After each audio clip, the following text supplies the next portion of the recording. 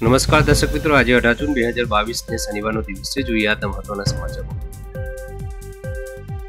પ્રથમ સમાચાર જોઈએ તો અગ્નિપથના વિરોધની વચ્ચે અમિત શાહે એક મોટો નિર્ણય લીધો છે. સશસ્ત્ર સૈન્ય બળોમાં ભરતી માટે કેન્દ્ર સરકાર તરફથી લાવવામાં આવેલી અગ્નિપથ યોજના સામે દેશભરમાં હિંસક વિરોધ પ્રદર્શન થઈ રહ્યા છે. આ પ્રદર્શન જોતા ગૃહ મંત્રાલયે અગ્નિવીરો માટે એક મહત્વપૂર્ણ નિર્ણય લીધો છે. કેન્દ્રીય આર્મ્સ પોલીસ ફોર્સ સીએપીએફ અને અસમ રાઇફલ્સની ભરતીમાં અગ્નિવીરોને દસ ટકા અનુમત આપવાનો નિર્ણય કરવામાં આવ્યો છે. ગૃહ મંત્રાલયે અગ્નિવીરોની રૂપમાં સેવા પૂરી કરનારને અધિકતમ ઉંમરમાં પણ છૂટછાટ આપવાની જાહેરાત કરી છે. ગૃહ મંત્રાલયના મતે અગ્નિવીરોને અધિકતમ ઉંમરમાં ત્રણ વર્ષની છૂટછાટ આપવામાં આવશે.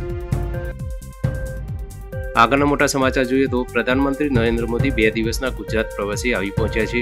મોડી સાંજે અમદાવાદ એરપોર્ટ પર રાજ્યપાલ આચાર્ય દેવવ્રત, મુખ્યમંત્રી ભૂપેન્દ્ર પટેલ અને સી આર પાટીલ દ્વારા તેમનું સ્વાગત કરાયું હતું. ત્યાંથી તેઓ ગાંધીનગરમાં રાજભવન ખાતે રાત્રિ રોકાણ માટે પહોંચ્યા હતા.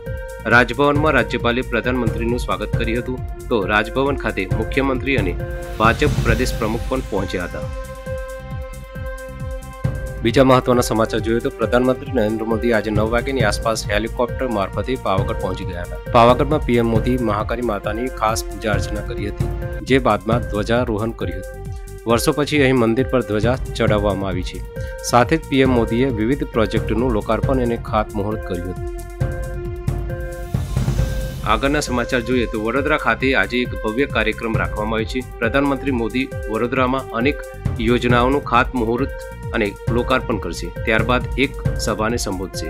અહીં પ્રધાનમંત્રી દ્વારા રેલવે વિભાગ હસ્તકના ગુજરાતના સોળ હજાર ત્રણસો ઓગણસિત્તેર કરોડ રૂપિયાના વિવિધ અઢાર પ્રકલ્પોનું ખાતમુહૂર્ત કરશે.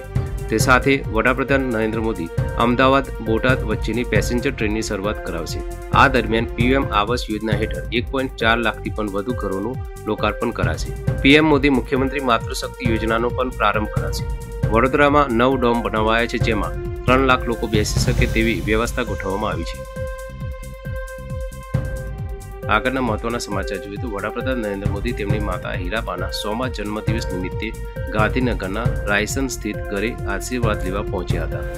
સવારે સાડા છ વાગે પીએમ મોદી માતા હીરાબાના નિવાસસ્થાને પહોંચ્યા હતા, જ્યાં તેમને અડધો કલાકથી પણ વધારે સમય પોતાની માતા સાથે ગાળ્યો હતો. પીએમ મોદી પોતાની માતા માટે ખાસ ભેટ લઈને પહોંચ્યા હતા. તેમણે માતા હીરાબાને લાડુ ખવડાવી, જન્મદિવસની શુભકામના પાઠવી હતી. આ ઉપરાંત પોતાની માતાના ચરણ ધોઈને આશીર્વાદ લીધા હતા. મોદી પોતાની માતા માટે ખાસ ભેટ તરીકે સાલ લઈને પહોંચ્યા હતા, જે તેમને અર્પણ કરી હતી. માતા હીરાબાના ચરણ ધોઈ પીએમ મોદીએ પાણી પોતાના માથે ચડાવ્યું. માતાને ગુલાબનો હાર પણ પહેરાવ્યો હતો. આ હતા આજના મહત્વના સમાચાર.